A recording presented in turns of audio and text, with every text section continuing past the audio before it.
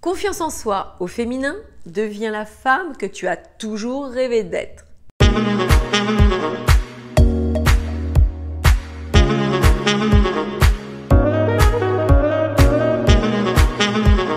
Bonjour mesdames, j'espère que vous allez bien, que vous avez la forme et que vous avez toujours envie d'évoluer dans votre vie, d'atteindre la meilleure version de vous-même. Cette femme optimale, cette femme aux commandes de sa vie, cette femme qui saura prendre les bonnes décisions pour elle. Ici Samantha Pampiglia, votre experte en relations amoureuses, mais aussi en développement personnel au féminin. Dans cette nouvelle vidéo, nous allons parler de confiance en soi. La confiance en soi est quelque chose qui est difficile à obtenir de nos jours. Lorsque l'on regarde le dictionnaire, la définition de la confiance en soi, c'est le fait de ne pas douter.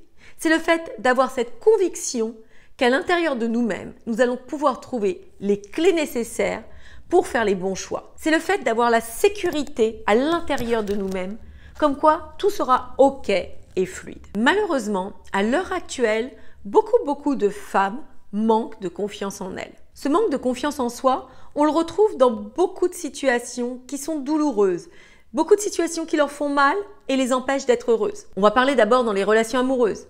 Le fait d'avoir de la dépendance affective, c'est le fait d'avoir un manque de confiance en soi. Le fait d'être jalouse dans son couple, c'est aussi le fait d'avoir un manque de confiance en soi. Le fait de ne pas savoir sur quel pied danser avec les hommes, un manque de confiance en soi. De ne pas savoir dire stop quand il le faut, de pas savoir dire non si vous n'en avez pas envie. De la même manière, dans votre carrière professionnelle, si vous n'avez pas confiance en vous, eh bien, vous, vous, aurez du mal à demander une promotion, vous aurez du mal à aller vers vos rêves, vous aurez du mal à faire des choix, des choix nécessaires pour votre évolution, des choix nécessaires qui vont vous rendre heureuse. Lorsque nous sommes petites filles, nous sommes candides, ouvertes, confiantes en la vie. Nous avançons avec sérénité. Nous avons envie de tout découvrir. Et puis, bien évidemment, et d'une manière logique, nos parents vont nous préserver, vont nous dire fais attention, il y a du danger, fais attention, c'est risqué, ne monte pas ici, ne va pas par là, fais pas ceci, fais pas cela. Donc, comme ça, déjà, ça va nous mettre certain, un certain frein. On va se dire que oui, on risque le danger, donc on sera moins encline à aller dans telle ou telle direction. Et puis en grandissant, nos parents, nos enseignants, euh, tout le monde éducatif va nous transmettre des croyances, des, croyances qu'ils véhiculent eux-mêmes sur la vie. Comme quoi c'est difficile, comme quoi ce n'est pas facile, comme quoi ça doit être euh, véritablement euh, un concours de circonstances si vous réussissez dans la vie, qu'il faut avoir de la chance, etc., etc. Et toutes ces croyances véhiculées, eh bien, vont comme ça se mettre en super couche et surtout vont éroder la base, la, quantité de confiance que vous aviez à la base. S'ajoute à ça vos expériences de vie. Vous allez euh, vivre votre vie de femme, rencontrer des hommes, aller vers des situations de la vie de tous les jours. Et puis, si ça ne fonctionne pas pour vous, eh bien, vous irez corroborer ces croyances. Vous aiderez vous dire, ben, mes parents avaient raison, euh, mon professeur avait raison, euh, telle personne qui m'a parlé que comme quoi monter son entreprise c'était difficile, elle avait raison, etc., etc. Et puis plus le temps va passer, plus vous allez garder ces habitudes, ne plus avoir confiance en vous, et puis surtout, eh bien, ne jamais pouvoir atteindre vos rêves, vous épanouir, être mieux dans vos baskets, grandir, etc., etc. Donc vous comprenez que le fait de travailler sur sa confiance en soi serait même la base à tout apprentissage en développement personnel la confiance en soi va être le socle, le, fondement de tout le reste de votre vie.